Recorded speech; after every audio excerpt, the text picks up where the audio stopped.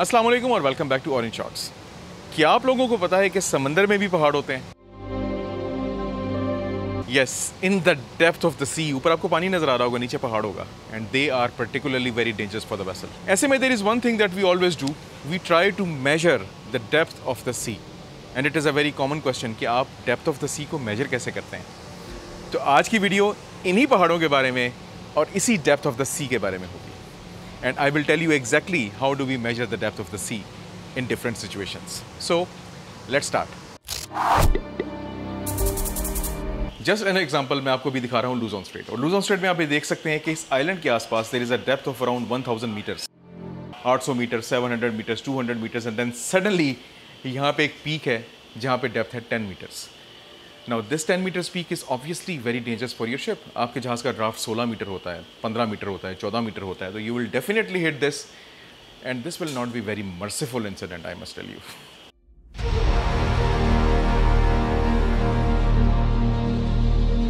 so to mitigate all of this situations हमारे पास definitely जहाज़ के ऊपर ऐसा इक्विपमेंट होता है कि जहाँ से हम समंदर की डेप्थ नाप सकें।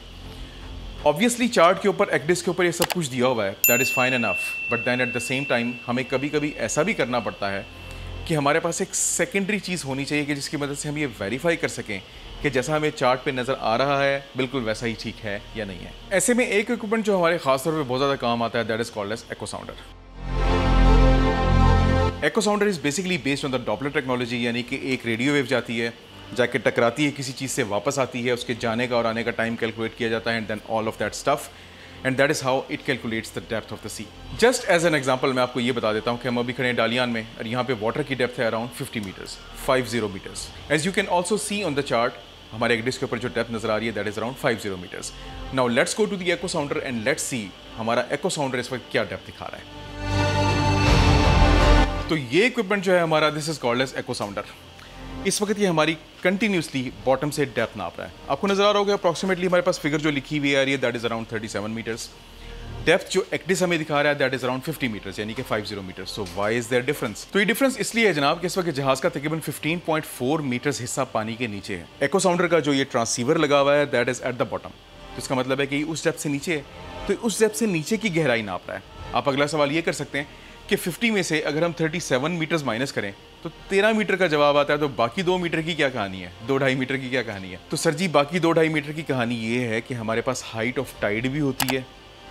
चाँद की वजह से। टाइड आपकी राइज एंड फॉल होती है। And then there are different atmospheric condition that can actually cause the water to rise and fall जिनकी वजह से थोड़ी बहुत वेरिएशन आती है एंड बाय द वे उनको हम सबको पता होता है। हम उसको पहले से कैलकुलेट करके रखते हैं कि एक्चुअल में हमें पानी की डेप्थ कितनी मिलेगी। So it's in my view it's it's okay it's justified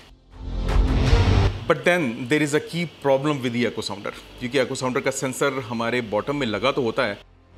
but ship is long जहाज़ तकरीबन 274 मीटर्स का एको साउंडर का सेंसर लगा होता है हमारे जहाज़ के फॉरवर्ड में एंड येस नेचुरली ऑब्वियसली हम हमेशा फॉरवर्ड की तरफ़ ही जाते हैं तो हमें पहले ये पता होना चाहिए कि फॉरवर्ड में अगर डेप्थ ठीक है तो पीछे से जहाज़ बाकी आराम से गुजर जाएगा।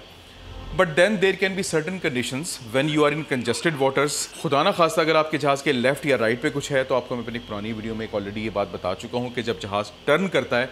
तो जहाज़ का हेड नहीं टर्न कर रहा होता जहाज़ का स्टर्न बेसिकली स्विंग हो रहा होता है one third of the length from forward and all that stuff तो there can be a thing if you are in a narrow passage तो खुदा ना खासा आपका जहाज़ का पिछला हिस्सा जाके ग्राउंड के ऊपर चढ़ जाए इसके अलावा आप जब बर्थ करते हैं when you are at berth तो there can also be another thing कि the berth is not properly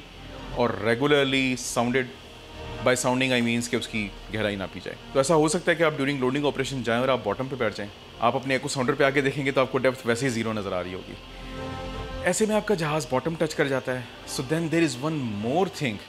जो कि हम इस्तेमाल करते हैं जहाज़ के इर्द गिर्द का एरिया साउंड करने के लिए। एंड दैट इज़ कम्प्लीटली हाथोमेटिक नॉट ऑटोमेटिक ये वर्ड हमने खुद इन्वेंट किया है हाथोमेटिक हाथ से करने वाला। तो वो जो चीज़ हम यूज़ करते हैं that is called as hand lead line now this thing is called as the hand lead line इसमें ये एक लेड का वेट है, जो कि आपको यहाँ पे नज़र आ रहा है it is actually quite heavy इसको हैवी इसलिए रखा जाता है कि जब हम इस लाइन को नीचे लोअर करें ना तो इस लाइन को बिल्कुल स्ट्रेट रखें। And it is only use कि जब डेप्थ इतनी हो कि खुदा ना खास्ता आपका जहाज़ ग्राउंड को टच कर रहा है या कोई ऐसी बात हो रही है। खुले समंदर में या ऐसी जगह पे जहाँ पे डेप्थ 50 मीटर या 50 मीटर से ज़्यादा इवन 20 मीटर या 25 मीटर के आसपास भी है, तब हम ये यूज़ नहीं करते until unless it is required क्योंकि इससे ज़्यादा रिलायबल सिस्टम जो है हमारा that is echo sounder which is already in use जो कि आपको कंटिन्यूसली वैसे भी जहाज़ की डेप्थ बता रहा है। But as I told you echo sounder के साथ सिर्फ़ और सिर्फ़ मसला एक होता है। On some of the ships they have the sensors at the forward and at the aft also but on most of the ships इसका सेंसर खाली सिर्फ़ और सिर्फ़ फॉरवर्ड में होता है। और अगर आपका जहाज़ टर्न करते हुए स्विंग करते हुए इधर उधर टच कर गया तो then this is the thing that you use to measure the depth and just to demonstrate you guys मैं अपना गो प्रो अब इस लाइन के साथ नीचे भेज हूँ पानी में।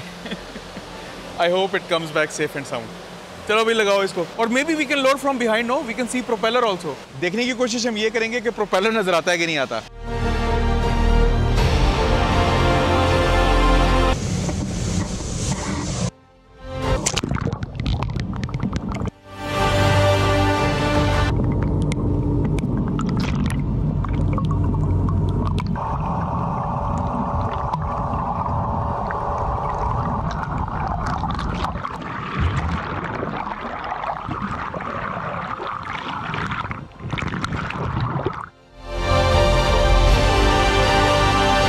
आपका अगला सवाल ये हो सकता है, जनाब, कि जहाज़ जब ऑलरेडी ग्राउंड हो गया और ज़मीन को टच कर गया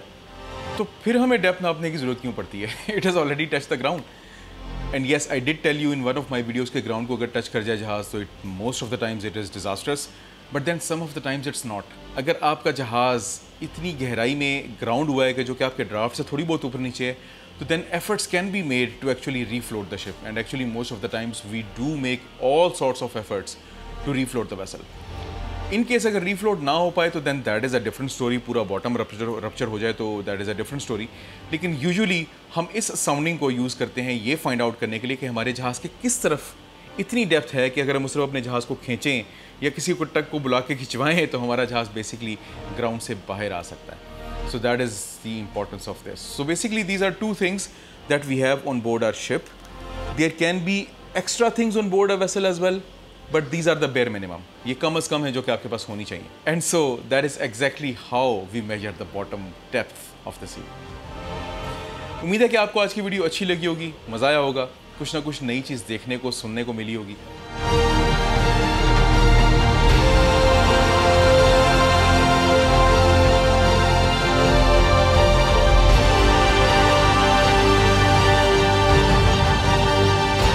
आपको आज की वीडियो अच्छी लगी हो, पसंद आई हो, कुछ ना कुछ नया देखने को और सुनने को मिला हो तो प्लीज़ लाइक ज़रूर कीजिएगा शेयर ज़रूर कीजिएगा सब्सक्राइब ज़रूर कीजिएगा। अपना बहुत सारा ख्याल रखिएगा, दुआओं में याद रखिएगा। With tons of love to my orange shorts family and to be orange shorts family take very good care of your self this is orange shorts I am Zahid Nisar अल्लाह हाफिज़